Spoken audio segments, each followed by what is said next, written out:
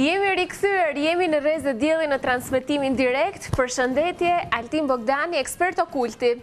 Faleminderit shumë që je me mua këtu në studio.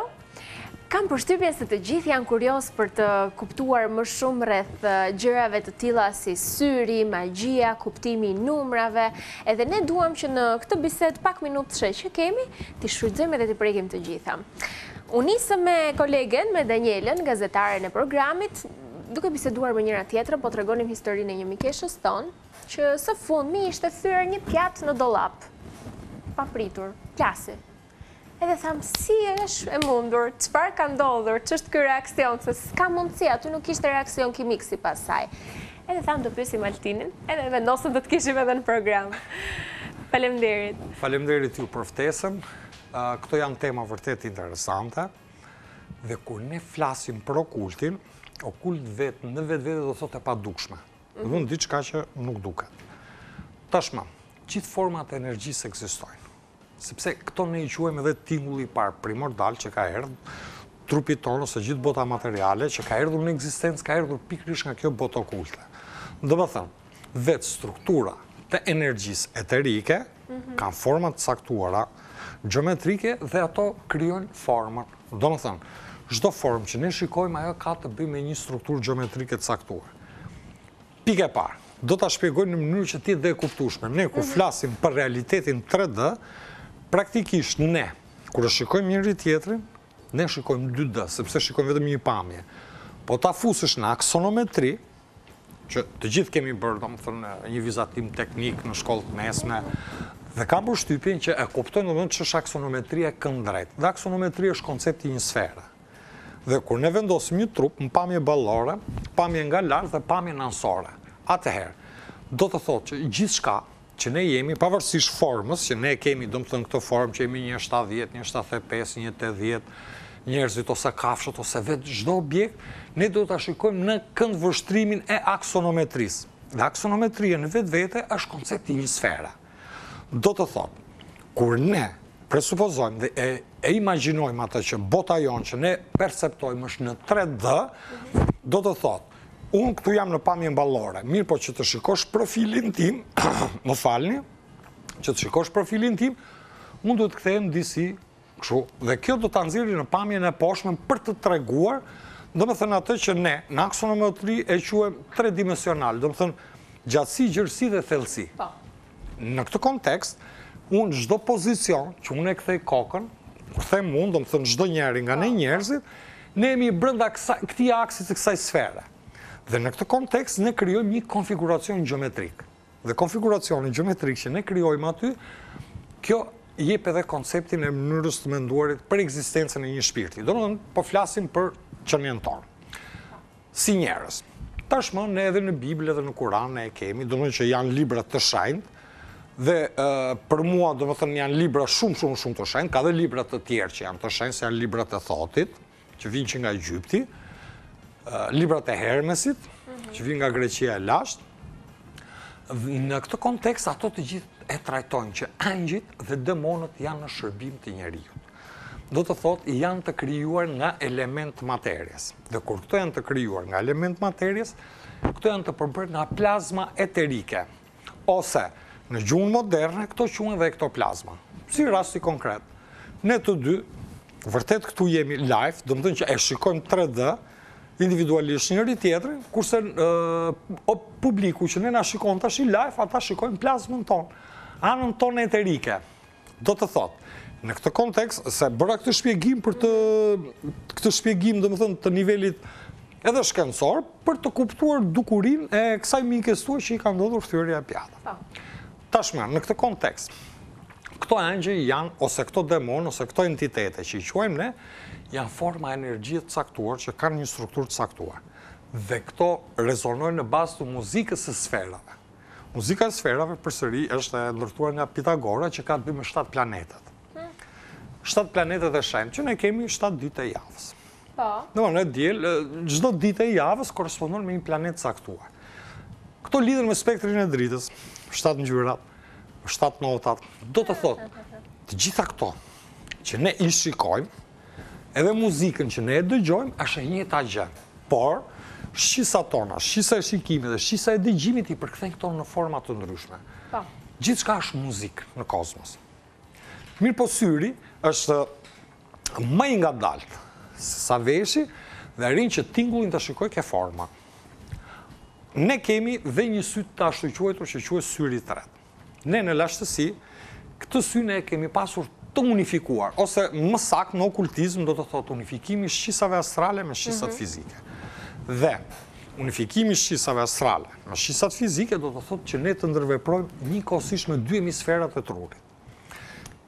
Që të jemi më më konciz, okay. më e qartë. Në këtë kohë, jo, doja të shpjegoja që edhe shikojnë këto fenomene, po meqë edhe koha është e limituar, po.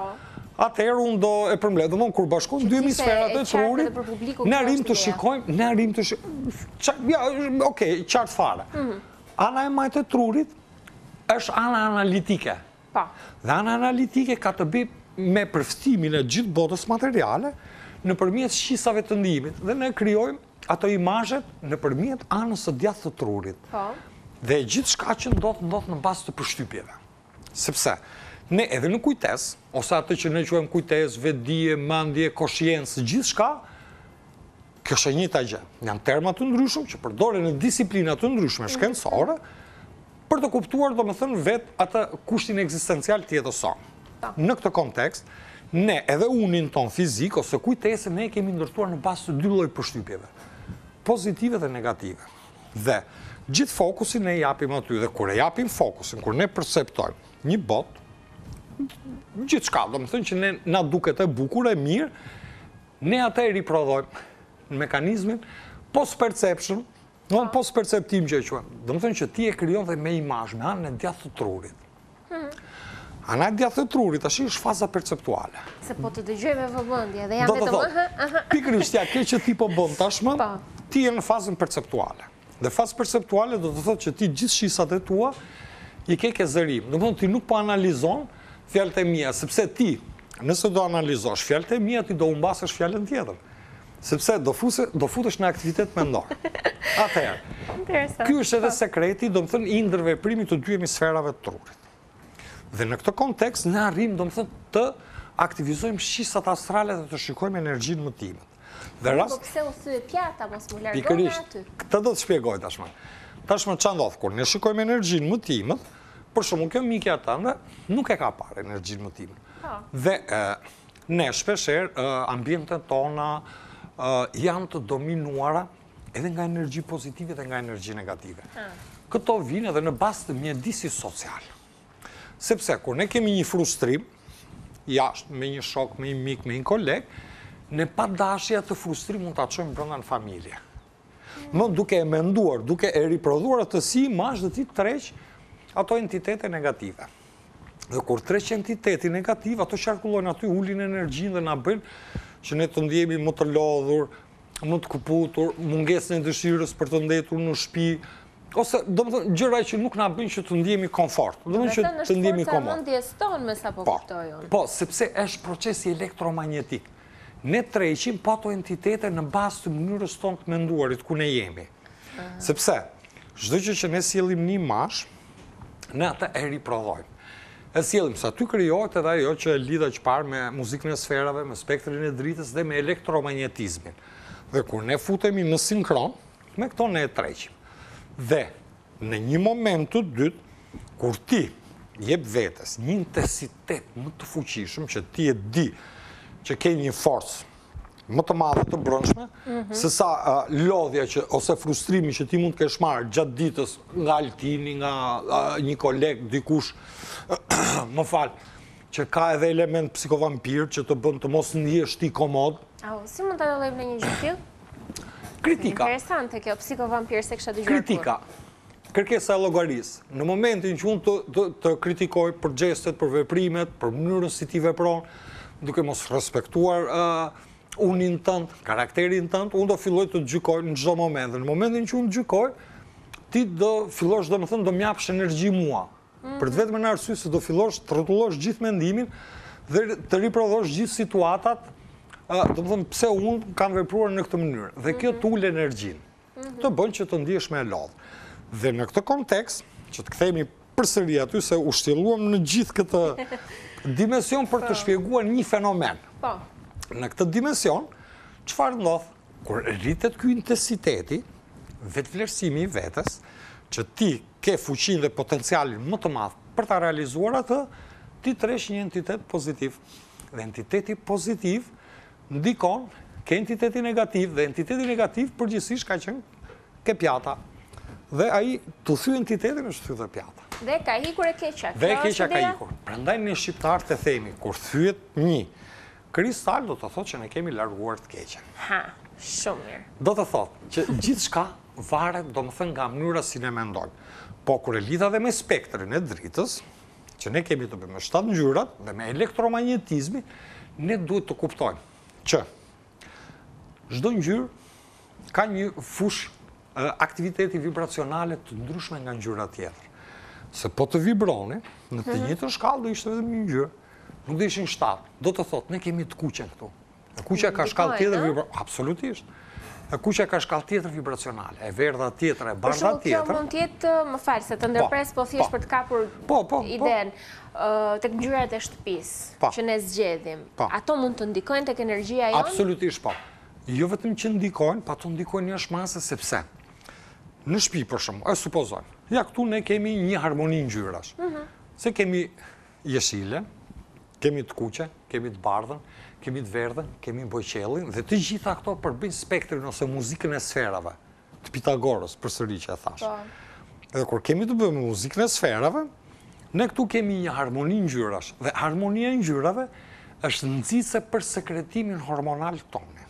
Mhm. Dhe në këtë kontekst, sepse vetë ne, ose kur themi sekretimin hormonal, dihet tashmë që hormonet që ne na bëjnë të ndihemi të lumtur, të dashur të mirë dhe me vitalitet, serotonin, endofrin, oksitocin. Që janë tre hormonet e rëndësishme. Mirëpo dhe këto si hormone nxitëset, e vërteta të vetat këto kanë të bëjnë me sekretimin dhe me nxitjen me shkallën vibracionale të një ngjyre të caktuar. Dhe kur ne jemi në ndikimin ose të ekspozuar nga një ngjyre e caktuar ne ndihemi më mirë. Do të thotë që trupat tanë janë thjesht antena. Qenia tonë është e përbërë nga shpirti, dhe shpirti ka një strukturë të caktuar që është e kompozuar nëpërmjet spektrit të dritës të këtyre ngjyrave. Mhm. Dhe, kur kemi ambient ose mjedise që ne nuk ndihemi mirë, po. ne a priori duhet të kuptojmë që nuk është problemi përsëri që është brenda teje, po. por ka të bëjë dhe fusha elektromagnetike që bie në kundërshtim me fushën tënde elektromagnetike dhe me sekretimin tënd hormonal dhe kjo tregon mënyrën që ti domethënë je e lodhur, sepse shumë njerëz shpeshherë fajësojnë veten që unë isha mirë, tashi, mhm. pse u bëra keq, çfarë ndodhi ke mua. Kjo do të thotë që ne Në atë kontekst, brenda kësaj kategorie, ne kemi ndodhur ose kemi ndryshuar domethënë mjedisin elektromagnetik. Po mirë, ngjyrat për shembull, ka ndonjë ngjyrë që është e përgjithshme, kjo ngjyra është e mirë për gjithë, apo varet si reagon secili nga ne me këtë ngjyrë? Je shumë e saktë. Pyetje shumë inteligjente, e vlerësoj jashtë mase. Sepse po mundohem të të kuptoj. Shumë sa. Ne shpeshherë të gjithë njerëzit kur themi jemi të veçantë dhe jemi individualë, do të thotë nuk jemi amorfë. Mhm. Nuk jemi domethënë njerëz që ne reagojmë në mënyrë të njëjtë ndaj çdo veprimi sepse kjo ka të bëjë me karakterin, me unifikimin dhe me qendrat tona energjetike. Dhe njerëzit për shembull që kanë çakra të caktuara, që e kanë centrale, qendrore, shembull ai që kanë ndikimin e rrut çakrës ose të çakrës bazë, që më tepër i jep prioritet, domethënë ushqimit dhe riprodhimit, praktikisht ai mund të ndihet shumë herë më komod se sa ty përballë të kuqes, sepse ai e ka mhm. ngjyrën e vet. Dhe një ngjyrë tjetër mund ta bëjë atë për shembull bluja, mund ta bëjë atë që të ndihet jo aq komod. Mirëpo ngjyrat e kemi dhe komplementare, E kuqja është lidhet me jeshilën. Ngjyra e kundërt. Është jeshile. Do të thotë, kjo kategori njerëzish, kur janë ok me të kuqen, ata ndihen ok edhe me jeshilën. Dhe kur ne shikojmë që ngjyra të caktuara, ne nuk na përshtaten, mhm. që ne nuk ndihemi komod, ne duhet të punojmë me ato, sepse këtu është edhe psikologjia e Frojdit, që thotë, fobive ose problemeve që ne kemi, që nuk i përballojmë dot, që na japin një lloj frustrimi në vetvete, ne nuk duhet t'i shmangim, por duhet të përballemi me ato. Dhe kështu ne eliminojmë fobitë. Mm. Domethënë që të krijojmë një sintoni. Mhm. Dhe në këtë mënyrë, ne, se këto duhen edhe teknika dhe praktika, domethënë forma meditimi, që për çdo njeri kjo është personale, sepse çdokush ka atë profilin e vet, domethënë siç e trajtuat dhe ju, po ai nuk ka të drejtë për shembull që të ma tregojë mua, sepse e supozojmë në qoftë se ti më tregon diçka mua, ti përsëri do vuash nga ndjenjë faji, sepse unë di një sekret tëndin, edhe kjo në vend që ti të bësh progres, ti bën regres. Mhm. Kurse, psikanaliza e thotë, domethënë që gjithçka ti duhet ta gjesh vetë, sekretin e vetes sate, dhe duke e rregulluar atë, te ty nuk ushtrohet as efekti i bullizmit, sepse shoqëria shqiptare e ka një çikë më të theksuar bullizmin, megjithëse kjo ekziston dhe në perëndim, po këtu ekziston më tepër bullizmi. Ishim te ngjyrat, po që të përfitojmë nga koha, kalojmë pak te numrat. Po. Për shembull ka disa numra me ç'kam lexuar unë, për shembull pesa, njëmbëdhjeta më duket, janë numra që thuhet më mirë është të mos bësh, të mos marrësh veprime vendimtare në jetën tënde. Nuk e di, a ka ndonjë rëndësi numri, ka ndonjë kuptim numrat, ose ditëlindja, data, mund të kenë ndonjë kuptim? Absolutisht po, edhe është pyetje shumë e bukur që keni trajtuar, unë e njof numerologjinë shumë mirë, mhm. si numerologjinë si gematrinë, të dyja këto në fakt, si numerologjia, si gematria, janë shkenca të Pitagorës. Se ne Pitagorën e njofim, thjesht, vetëm ke... Matematika që bënim... Matematika e famshme, ke po. teorema e famshme po, Pitagorës, që është c në katror barabartë me a në katror plus b në katror, kurse praktikisht, Pitagora ka ndërtuar shkencën e numerologjisë, edhe shkencën e gematrisë. Gematria ka të bëjë me valencën e numrave dhe që e ndan me monad, duad, triad. Domethënë ka të bëjë me tre rrjeshta nëpërmjet sidomos edhe alfabetit. Dhe numrat korrespondojnë edhe me germat. Atëherë, numrat, vlera e numrave është nga njëshi deri ke dhjeta. Pjesa tjetër është është riprodhim. Dhe numrat që nuk ndahen janë njëmbëdhjetë, trembëdhjetë, njëzet e dy, tridhjetë e tre. Këto janë numra që në shkencën pitagoreane këto mbahen si numrat domethënë më perfekt. Numri njëmbëdhjetë korrespondon me argjendin, sidomos me, domethënë me me satelitin ose plat, atë, si mund ta quajmë hanën, domethënë se zgjedh dot as fjalën e duhur, se as planet nuk mund ta quajmë atë. ë Kurse numri 22 korrespondon me diellin. Domethënë kemi të bëjmë me ngjyrën argjend dhe me ngjyrën ar. Numrat nga 1 deri ke 10 kategorizohen numrat tek Një tre pesë shtatë nëntë janë numra mashkullor që kanë të bëjnë domethënë që korrespondojnë përsëri me diellin ose në konceptin fizik elektrik që kanë të bëjnë me impulsin. Po, çfarë do të thotë mashkullor? Në kuptimin mashkullor që... pikërisht jo në dimensionin fizik siç e trajtojmë ne, domethënë që po. e, e trajtojmë gjinin mashkullun si mashkull dhe femrën si femër. Por në kuptimin mashkullor do thotë elektrik. Kurse kur themi femëror do thotë magnetik, sepse gjithçka në univers, në kozmos është elektromagnetike. Aty ku ka një impuls elektrik do krijojë vala vetë një fushë magnetike. Mhm. Këto i ka vërtetuar dhe grimca e Higgs ose grimca e Zotit që u bë në CERN nga vetë Higgsi. futi dritën në një vakum, në një tunel vakum dhe në krahun tjetër ajo doli materje. Mhm. Domethënë dritë e kondesuar. Dhe ne njerëzit jemi vetë dritë e kondesuar në materje. Ose rëndom që gjithë njerëzit e njofin atë si shpirt. Mhm. Kurse numrat femëror janë dysh, 4, 8, 10. Gjashta është numër perfekt. Numri gjashtë është numër perfekt, sepse gjashta i ka të dyja gjinitë. Domethënë, numri gjashtë është elektromagnetik. Dhe, sipas Nikola Teslës, përsëri për të kuptuar ne misteret e universit, mhm. ne do të operojmë me tre numra bazë, që është treshi, gjashta, nënta. Domethënë, në treshin, gjashta, nëntën, po e lidhim me datat, mund të jenë data që ne mund të marrim vendime të mira, se për këtë dua ta ta kthej në praktikë. Vërtet ajo është ky është shpjegim shkencor. Të kuptova. Po njerëzit vetë mund të mund të bëjnë llogaritë e tyre me këto numra? Shiko, këto janë përsëri sugjestione. Sepse ne njerëzit ne përgjithësisht ne krijojmë besimin dhe kur njerëzit janë të prirur ndaj mistikës e kërkojnë. Ka shumë njerëz që i përcaktojnë ose i emërtojnë datat me mënyrë domethënë në një formë sugjestive që ty për shembull e supozojmë nëse ti ke besim ke njohurja ime, ke aftësia ime, të them unë datën 4. Mhm. Ti do të mbledhësh gjithë forcat e tua sepse në këtë datë ke gjithë mirësitë e tua. Praktikisht nuk është data ajo mhm. që ty do të sjelli mirësitë. Por, është energjia që ti thith nga sugjestioni im që merr dhe ti duke e pritur datën 4, ti praktikisht mbledh gjithë energjitë e tua dhe do zhvillosh atë projektin që ti ke. Prandaj po them domethënë që këto më tepër hyjnë ke këta që ne i quajmë domethënë si si të thuash, si komercialist, që bëjnë edhe komerc me njerëzit, duke abuzuar me mungesën e informacionit që kanë të tjerët, edhe e përdorin për efekt komercial. Interesant. Kurse, praktikisht, numrat kanë fuqinë e tyre në vetvete për akumulimin e energjisë. Mhm. Sepse, kur ne flasim për nivelin ezoterik, ose Se ezoterik okult i padukshëm është e njëjta gjë, kur ne flasim në këtë dimension, kur ti futesh vetë në vetvete, ti çdo numër që mendon që e ke kundër vetes tënde, ti do mund ta kthesh në harmoni duke medituar me atë numër që ti gjithë pjesën tënde të jetës ti ta ndërtosh në bazë të forcës tënde të potencialit tënd energjetik që ke. Me ç'kuptova nga të gjitha ça na the deri tani. Sepse ashtu i bie që ti vetëm datën 5 duhet punosh, 30 ditët e tjera ti duhet të rrish në shpi pastaj. Pushim. E kupton? Po, kjo është shumë e keqe pastaj.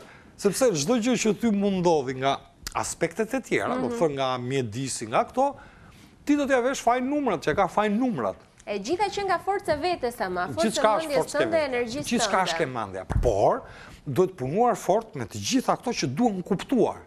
Mm. Sepse ne në mënyrën kur ne arrijmë kuptojmë fuqinë që kanë këto në vetvete që gjithë koncepti është ke elektromagnetizmi, atëherë është ajo ideja që unë e nisa bisedën me ju që thashë, ana e djathtë e trurit është elektrike. Se ka të bëjë me imazhin. Ana e majtë e trurit është magnetike, se ti do e manifestosh, ka të bëjë me verbin, me mhm, fjalën, mhm. me botën materiale. Dhe kur ne i harmonizojmë të dyja këto, gjithçka do shkojë okej. Do të thotë që gjithçka është brenda te, është brenda imazheve që ti përzgjedh po. për të manifestuar në botën materiale. Në realitet. Po, në realitet. Prandaj unë futa dhe impresionet në lojë. Sepse ne, njerëzit, përgjithësisht, ne orientojmë fokusin ke impresionet negative. Do të thotë, kur ti përfton një sjellje jo të kënaqshme, po. time ndaj teje, ti do e zhvillosh logjikën dhe imazhet në këtë formë. Në atë pjesë do merrem, do merrem. Do merresh me atë pjesë se ti do e sjellësh negativitetin. Atëherë, Ça duhet bërë? Ça duhet të bëjmë? Ha, ja, kjo është. Ti duhet ta transformosh, se këtu është problemi. Dhe po. kur ti e transformon këtë mhm. imazh, sepse për ty Altini është i parëndësishëm. Po. Sepse Altini është një person që nuk është pjesë e jetës tënde. Mhm. Atëherë, ti ke gjërat më substanciale që ke familjen. Dhe ti gjithë fokusin, ti do ta orientosh atje. Ke familja jote. Duke e menduar, duke organizuar gjithë gjërat e bukura që ty të bëjnë mirë. Domethënë të përqendrohem te ajo që më bën mirë dhe Altinin ta harroj. Kjo është ideja. Jo ta harrosh në kuptimin e harrimit, në kuptimin e mungesës së riprodhimit si imazh. Sepse gjithë sekreti është ke riprodhimi. Riprodhimi është pos-perceptimi, që ne thamë. Domethënë, ç'pati ky që më tha, kështu u bë, ky më ofendoi po, mua. Po, na rri në mendje normalisht, ç'të bëjmë? E po duhet hequr kjo pjesë. Dhe kur ne heqim këtë pjesë, kur ne zhvillojmë atë, mhm. se ne edhe kur themi që ne jemi të ndryshëm, njëri nga tjetri, për shembull kur marrim një emocion negativ nga jashtë, unë nuk duhet t'ia kthej me të njëjtën monedhë. Sepse po ia ktheva me të njëjtën monedhë, do të thotë që unë s'ndryshoj nga ai, jam njësoj. Atëherë, unë bëj atë që quhet sublimimi i materies, ose diversion, se shpeshherë ne e përdorim dhe diversion. Më fal. Ti je mirë, kjo është e rëndësishme. Faleminderit. Po. Dhe bëhet një diversion. Diversioni në kuptimin literal ka domethënë që ne të shmangemi nga biseda ose konteksti negativ që aty ka dhe fokusohemi ke elementet pozitive. Dhe kur ne shikojmë cilësitë pozitive ke njerëzit, ne i zhvillojmë, ne i ushqejmë ato. Në rregull. Sepse po të fokusohemi ke defektet, praktikisht po do rrokullohemi aty, do shkojmë aty. Po sekreti është shumë i thjeshtë, që gjithçka kemi në dorë vetë ne. Gjithçka e kemi në dorë vetë me energjinë tonë, po ka për shembull fjalë që thonë njerëzit zakonisht, tipit mos më ka zënë syri kur nuk na ecën gjëja siç duhet, ose mos më kanë bërë magji. A mund të bëhet magji? Po. Po. Po. Mirë. Meqë qenka po, si mund ta kuptojmë nëse na kanë bërë magji? Ja, për shembull. Efekti i magjisë, kur ne themi magji, Unë përdora deri tashi në emision fjalën imazh, mm. që vjen nga image. Hiqi i-në përpara, ça ngelet, ngelet mage. Mage në shqip e themi magji. Domethënë, magjia vetë është ndërtu nga imazhi. Të gjithë njerëzit bëjnë magji. Të gjithë njerëzit bëjnë magji? Pa përjashtim. Po si, pa dashje? Pa dashje, po. Në momentin që ti ke një imazh këtu po. në mendje, e supozojmë, ke imazhin tim, unë në mënyrë të pavetëdijshme, unë do e marr atë imazhin dhe mënyrën çfarë ti mendon për mua. Pse? Sepse krijohet fusha elektromagnetike. Ajo që unë shpjegova çfarë? Që thashë, ana e djathtë e trurit është elektrike, se ka të bëjë me impulsin, dhe ana e majtë është verbi, ka të bëjë me fushën magnetike. Dhe këtë ne e quajmë rëndom edhe si shkenca e telepatisë. Ose edhe mbjellje mendimesh.